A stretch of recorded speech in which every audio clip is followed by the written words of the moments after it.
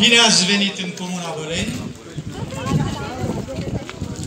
Un salut pentru oficialitățile județului și în Parlamentul României. Pecilor!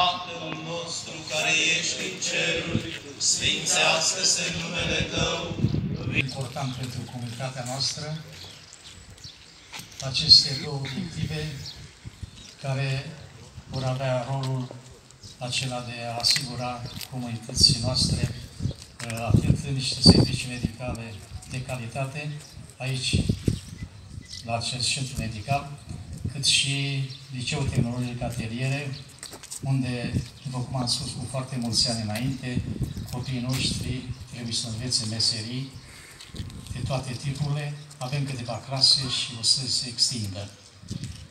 Uh, Suntem onorați că avem uh, lângă noi pe domnul președinte al Consiliului Județean, pe doamna prefect, parlamentari și deputați, invitați, consilieri local și din aparatul administrativ al nostru.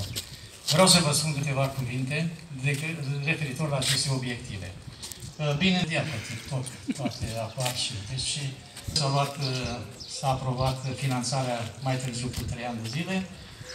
În sfârșit a fost uh, realizat. Acest centru medical va asigura servicii medicale medici specialiști, asta vreau să spun, iar dotările din interior vor fi stabilite de instituțiile medicale și de clinicile cu care noi, în perioada următoare, o să le trimitem oferte pentru serviciile care se vor desfășura aici. Bineînțeles că noi ar fi putut să mobilăm sau să dotăm acest centru medical, însă lucrul acesta nu îl putem face decât după ofertele clinicilor medicale, că trebuie să vă spun, rolul acestui centru medical este un fel de policlinică în care toate serviciile necesare pentru cetățeni vor fi aici. De, de vreme mă întreba cineva medici de familie. Medici de familie din Băleni au cabinete, nu se pune problema, aceasta va fi uh, policlinică. În spate o să mergem acum acolo, avem ateliere, tot așa o construcție uh, mai mare, mai dezvoltată decât uh, asta. Uh, se- S-a impus această investiție în ateliere din anul, poate nu vă vine să credeți, în anul 2009. Atunci s-a turnat fundația. Bineînțeles, au fost niște probleme atât uh, guvernamentale cât și locale. A fost uh, în instanță un constructor, doi, după aia am început uh, foarte rapid, după decizia instanței și am reușit să, uh, să realizeze și acel obiectiv. Toți ghinionul ca firma constructoare să intre în insolvență, în canta cu zi.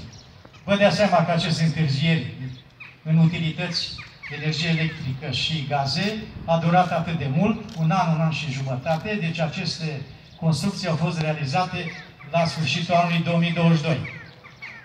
De aceea, acum vin cu o rugăminte la doamna prefect și la domnul președinte al Consiliului Județean să facem în așa fel încât acele avize care se dau pentru energie electrică, pentru gaze și pentru apă acolo unde este cazul, să fie, să se deruleze mai rapid. Foarte multe probleme avem în uh, acest domeniu și colegii mei, ceilalți primari, toți la fel spun și sperăm ca și dumneavoastră, presa, să faceți un pic de lobby pentru acest. Acum invit